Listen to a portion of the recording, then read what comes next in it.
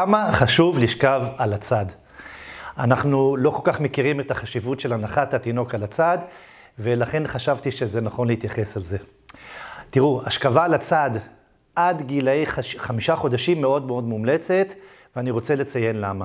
אחד, זה מייצר סימטריה של עמוד השדרה, אנחנו משכיבים את התינוק על שני הצדדים, זה חשוב אחר כך ליכולת להתהפך ולזחול בצורה סימטרית.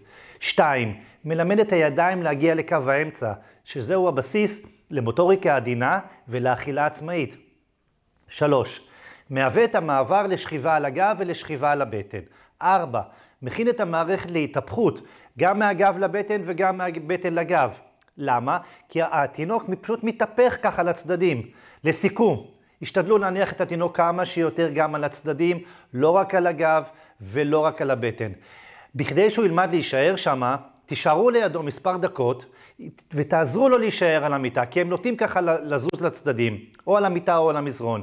על ידי ניעות, טפיחות, תישארו 2-3 דקות, ולפעמים צריך להניח כרית קטנה תחת הראש, ככה יותר נוח לתינוק להישאר יותר זמן במצב הזה.